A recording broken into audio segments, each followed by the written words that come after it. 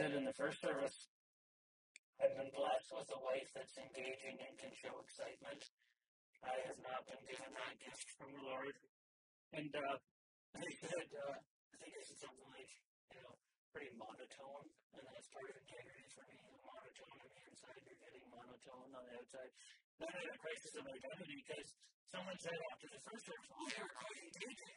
Who am I to know? Am I engaging? Am I not engaging?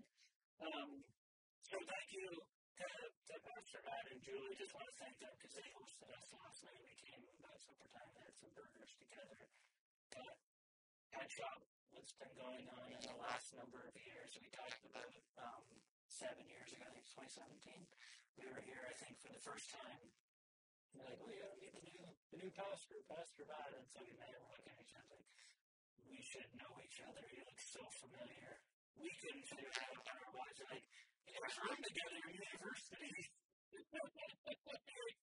oh my, wow, we uh,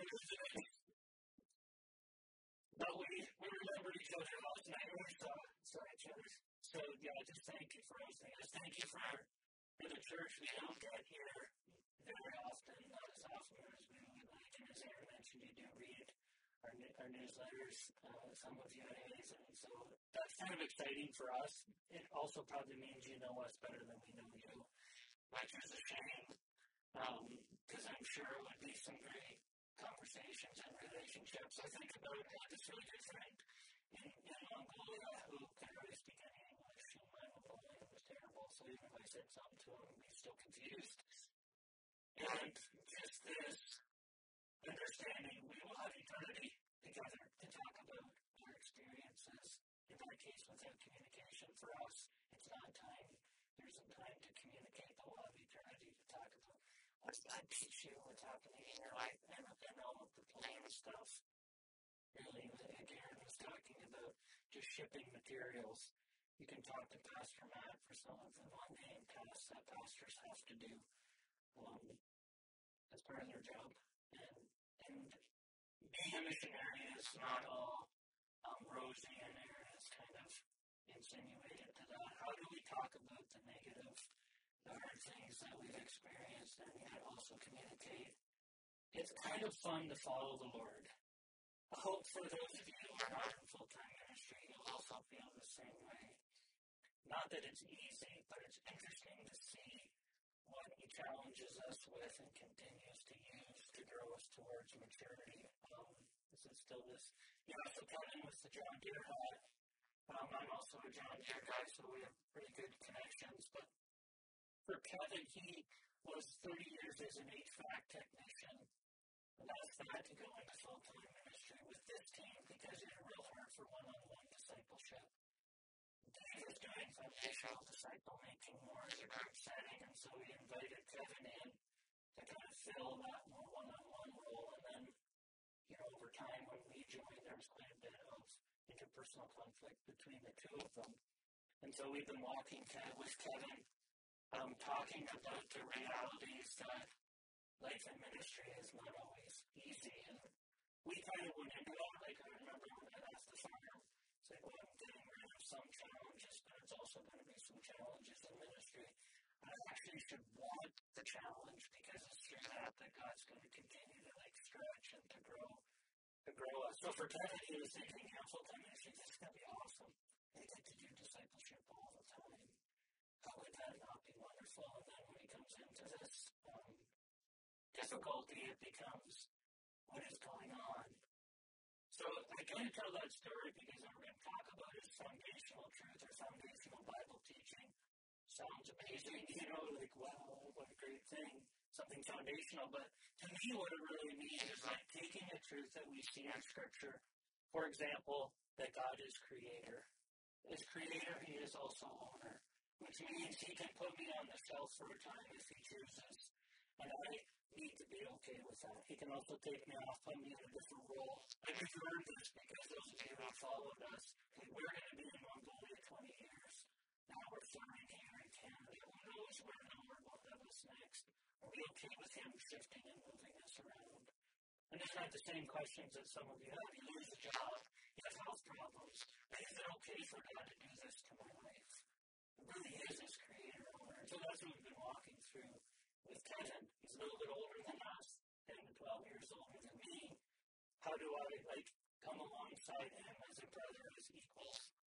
And I was like, I think uh, Matt was saying, you know, Jason and are like, well, that's me. Dairy farmer from southern Ontario. That's what it was before becoming a missionary. I'm nobody, really. And yet here this opportunity to share just what God's been doing in our in our life and in our ministry. It's just serving. The fancy word for just serving God. You know. So today, Aaron mentioned we're going to talk about um, one of the lessons. that she had that sampler. That's 101. We call it just gospel foundations. It's split into four parts. So um, creation, catastrophe, covenant, Christ, just to walk someone through truth from creation to resurrection. Um, so that's what we're going to do this morning. We're going to go through all four sections so you can rest assured. I know there's another, there isn't another service coming afterwards. So you may fear he can go on forever because there's not another service coming. I'm not going to do that. I said before, I about 6,000 words a day, so let's go up quick. Um, so the first truth we're going to look at from the flood, the story of Noah and the flood catastrophe section is God's offer of mercy has an end, so he warns the living. Think about um, Noah. Have you ever been alone as a lonely person? Like I'm the only one standing up on the stage right now. In a sense, there's a bit of pressure. You can probably see me sweating. Like I don't want you to be engaged with truth, but I'm up here alone. My neighbor Johnny, this is that. Um, Saskatchewan is right beside me. He's very gregarious, outgoing. Looks like he has a lot of friends. Last year on a campfire, he confesses, I don't have any real friends. And even in the middle of nobody was there to help me. And how many of you have either feel alone now or been alone? Well, Noah was alone. Hundred years early, right, of being the only righteous person on earth. So that's what we're going to talk about. This guy that's alone. And he found favor in the Lord's eyes. So to get back to this truth point, God's offer of mercy as a man sending warns the living. The ark. What is the ark? It's really a billboard of impending judgment, impending doom. How many of you have seen some of these movies that talk about, you know, the meteor coming, or there's, you know, nuclear disaster? I always think of the movie Armageddon. Some of you may remember that one. Um, you know, this meteor's coming. I think at the beginning they had like 12 days warning or something. The scientists discovered it. Um, it's not a lot of time.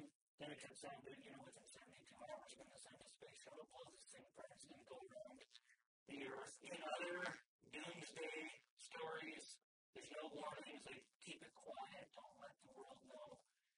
God, in His mercy, was letting the world know of what was to come. And not 12 days or 72 hours, a hundred years of letting the world know that judgment was coming. So it's not just a vessel. We'll come back to that in a, a bit later of it being an ark of safety. But at this point, it's like a billboard warning the people of what's to come. So they have that. God, His offers mercy as an answer, is warning the living. The second way He's warning the living is through Noah. Right? We see in 2 Peter 2 5, Noah is a preacher of righteousness, so God places him also on earth to be telling and warning the people. So he's telling them, say, the billboard of what's to come. Let's, um, let's go to Genesis 6, verse 7 and 8. You have your Bibles. Genesis 6, 7, 8. It right here. And the Lord said, I'll wipe this human race I have created from the face of the earth, yes, and I will destroy every living thing, all the people, the large animals, the small animals the scurry along the ground, even the birds of the sky. I'm sorry I ever made them. But Noah found favor with the Lord. And then if you jump ahead to 22, Noah did everything exactly as God had commanded him. So you've got him warning the world of what's to come. You've got the What is the ark a testimony to? It's a testimony of the seriousness of the reckoning to come. It's a testimony of God's anger towards wickedness. It's also an indication of his justice and holiness. He has to deal with sin. And it's also the truth of God's mercy, giving people time to repent. but it's also an indication that that mercy will come to an end. Kind of like if you have a creek and you, you throw some rocks and some sticks in it, trying to like dam it up and back the water up, eventually it will burst. Similarly, go to the next slide. God's offer of mercy comes to an end, and for those of us like at this point in history, that end is upon our physical death. God's extending mercy long enough for us to choose to believe and to repent. For some, their time is longer, and others it's shorter, but we don't get more time based on, you know, good works or making, you know, a balancing out between good and bad. Eventually it will come to an end. We refuse, the dam, the dam will burst, and God's wrath against sin um, will come upon us upon our physical death. So, what happens when God's offer of mercy comes to an end? Well, he punishes the proud. Next slide. So the mercy, his offer comes to an end, and then he punishes the proud. Let's read Genesis 7, 13 to 16. That very day, Noah had gone into the boat with his wife and his sons, Shem, Ham, and Japheth, and their wives. With them in the boat were pairs of every kind of animal, domestic and wild, um, large and small, along with birds of every kind. Two by two they came into the boat, representing every living thing that breathes. A male and female of each kind entered just as God had commanded Noah. Then God closed the door behind them. Noah and his family get on the boat. So those who are not on the boat, what should they have been thinking?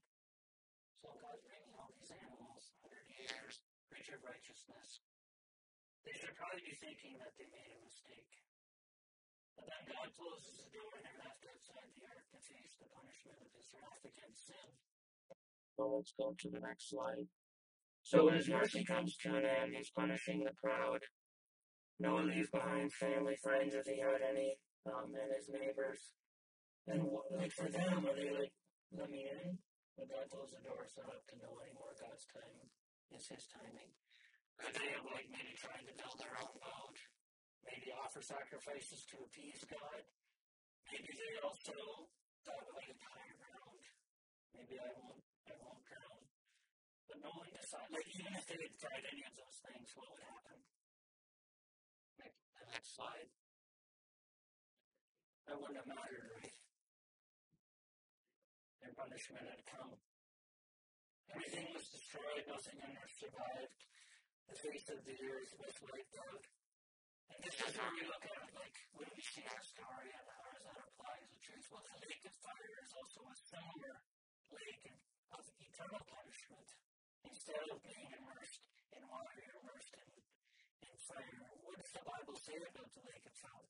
You can go to that next slide It tells us it's created as a punishment for Satan and his followers for their sin and rebellion against God. The truth is, it can't be avoided by any means other than through Christ, just as the ark was the only way to avoid the judgment of the flood. It offers no escape.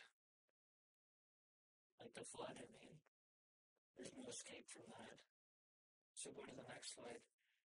So this, just to like tie a little bit of the the truth of what I'm talking about into the resource just so you can get a sense of, of what is in there. This is like at the end, the conclusion is they present these questions. How many people try to ignore the evidence of coming judgment? So, you know, we talked a little bit about Job wrote some of this stuff from Noah's time when it was impossible. What about now? It's like, I'm um, young, there's lots of time to decide. Maybe it's I'm safe because my parents are in ministry or they're religious, they go to church, or, you know, I tithe, I attend church. Maybe it's, you know, good works, bad works, as if it's a balance, you know, enough of them go that way. Um, maybe it's total denial, right? Because uh, there's no God, there's no judgment to come. Just stick your head in the sand. Noah responded by God by simply believing. God said that a flood was coming, build a boat, and Noah says, okay. Similarly, Jesus says, I am the way, the truth, and the life. No one comes to the Father except through me. Like the, the door of the ark is the only way into the ark. Likewise is Christ the only way into um, into Christ, into salvation.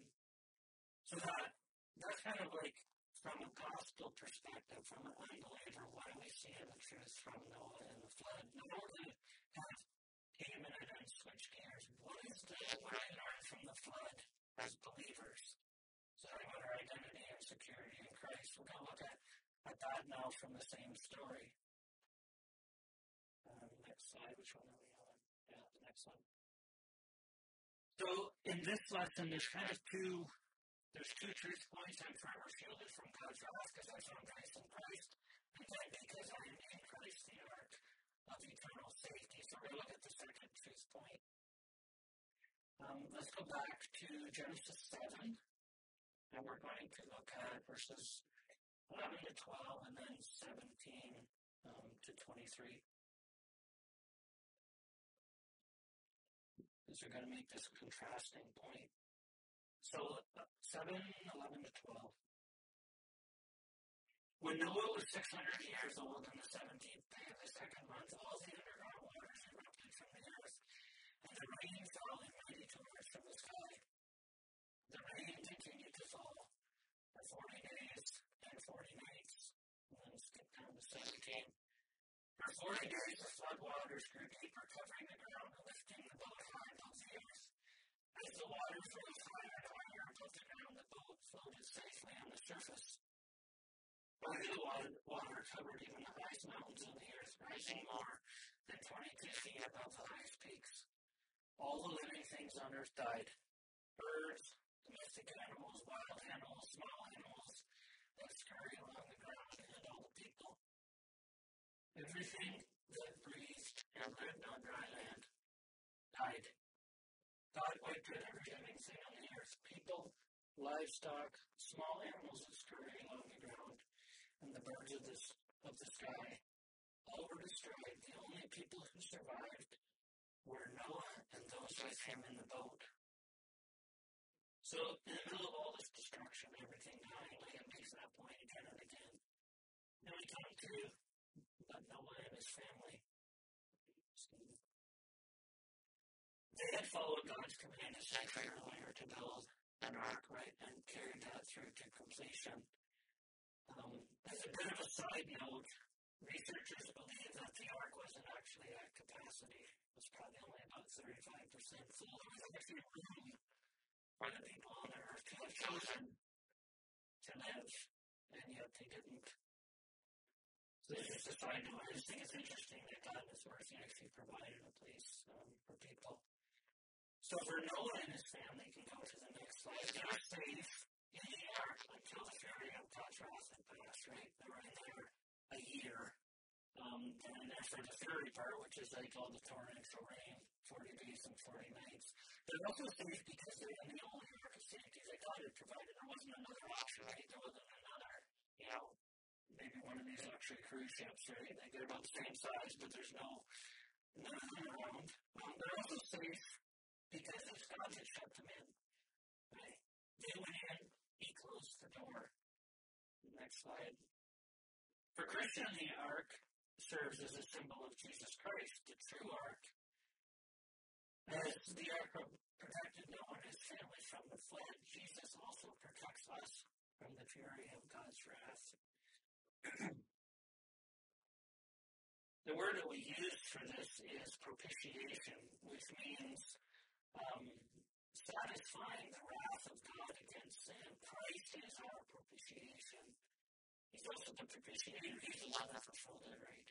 And this, the graphic really shows that. Make sure I have right with yeah, but between God's wrath against sin, here's Christ that fully fulfilled and satisfied the payment for our sin. And then there's last, right? Like, he has Christ in between us. How can we be sure that He's done this on our behalf? Well, we can be sure, for one, the temple, or the curtain in the temple between the Holy of Holies and the outer sanctuary court open from top to bottom. Right? Christ made that possible, and God ripped it. Secondly, we see that God raised Jesus from the dead, meaning that the sacrifice was acceptable to Him. Thirdly, we see that Jesus is now in heaven, seated, seated at the right hand of God the Father. So all authority in heaven and earth has been given to him, so the work is complete. Romans 5, 9 to 10, since we have been justified by his blood, how much more shall we be saved from God's wrath through him? While we were God's enemies, we were reconciled to him through the death of his son. Jesus, in a sense, I think the, the definition for reconcile is like to make amends, come to a true, settle a disagreement. Like Jesus accomplished that on our behalf. Like Noah is safe in the ark, the believer is also safe in Christ. The next slide. It's clear there's two camps. Believe and be accepted or reject Jesus, the ark of safety, and God's wrath will then fall upon us in our physical death. Ephesians 2 3 to 5 says that by nature we deserve God's wrath. Because we're born in sin, by nature we're sinners. We're made right with God because of His mercy and made alive and safe in Christ, our ark of eternal safety. So just to like review, remember from the first one, God's mercy is going to come to an end, so He warns the living and then punishes the proud. For those of us who are believers, the ark, meaning Christ, represents Christ, is our safety. But there's only so much time for us and for those around us. What will we do with that information? So that's kind of like looking at the story from a foundational truth and then applying that to our life. For us, like right now, when we're kind of what's happening with our team, where's the Lord going to take us both through this and then after, like to what? We come back to foundational truths, like what I said at the beginning, creator, owner. Is he now putting us on the shelf again? I think the last time we were I might have talked a little bit about, you know, we were in a hallway. Seemed like there was all of these options. Which door was the one that was going to be open? Maybe some remember that. Somebody would open the door and it would start out like, oh, this is on. There's a chain on it. The chain lock and it only opens so far. But isn't have every right to do that? And we also, even as missionaries, whatever that is, um, have to keep reminding ourselves of truth. Because it's very easy for our flesh to take us in a different direction. To, I think I was talking to someone after the first service, you know, the world's bombarding us with individualism and you deserve this, you, know, you should have a job that's totally fulfilling to you. But really, what does truth talk about that? You know, Christ saved us and we want to serve Him because of His goodness toward us. Let's just close in prayer. Thanks for the time. Um, listening to me, hopefully I resonated with some of you. Now you'll think about those things in your own life. I think um, we pray for people that are going through cancer and illness. Like, how do you apply foundational truth to that? Is not sickness and illness like we know it's time to fall.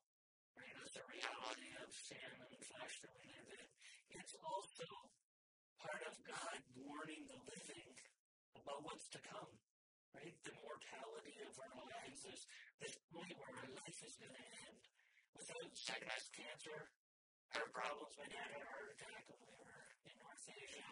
Was I going to get to see him again? Like, all of those are kind of a warning of the end is coming. And we always see it that way. Right? See, I'm really sorry for that you're kind of experiencing the effects of the fall. And I am truly sorry for that. But I also want to it as like God's warning um, for us. And let, let's kind of look at it that way. So, so those are our neighbors around us who are experiencing cancer. They're not in the ark of God's safety. Right? They're more in the flood side. But they, at, at that point, they still have time. So let, let, let's think about it that way, about truth, and then act on it. So those, some free extra minutes, let's pray. I would thank you just, I really thank you for your word, and we really are so blessed to have it in our own heart language in English and so many translations. What a privilege we have to pick it up. Um, really, most of us have grown up in, or at least now experiencing, where we're encouraged to pick up our Bible, study it for ourselves. And the truth that we see in there, yes, we wanted to uh, bring our, ourselves and those around us to salvation. You know, we move into the ark of Christ's safety. but there's also um, a hurting world around us, and you've placed, um, you know, Sunshine here in Fenelon Falls and in to be a testimony of what, uh, of your goodness, also a testimony, kind of like an ark, like a billboard of um, the message of salvation. It's, it's, you've given them that role, so I just pray for for them as they reach into the community and also just to encourage one another within this body um, towards maturity and towards um, building relationships with neighbors and with friends and on sport teams and in workplaces an opportunity to share about um, the goodness of our God and His mercy that we have time. We deserve death, and yet you've given us time that we might this, that with those around us. In Jesus' name, amen.